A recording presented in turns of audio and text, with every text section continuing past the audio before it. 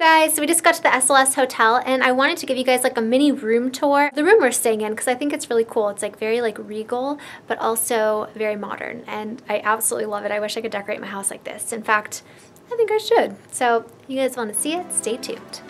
Okay, so when you first walk into the door, there's this really cool like archway door that you walk into. And then I'll just pan across the room so you can see it.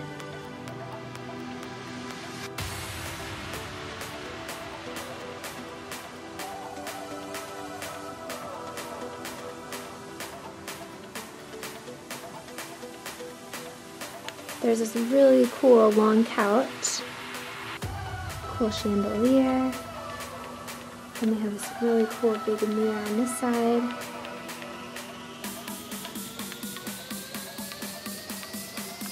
And then over here they have another really big mirror with a really cool desk, a little mini bar with some waters and snacks and some alcoholic beverages in there.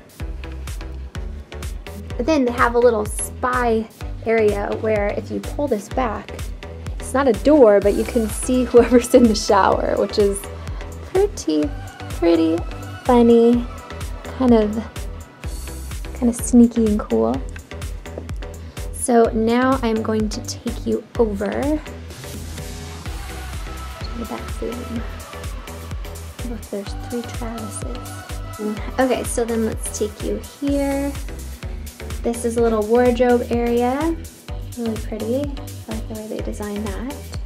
And then over here you have a huge mirror that also is a door for the bathroom, or for the toilet I should say.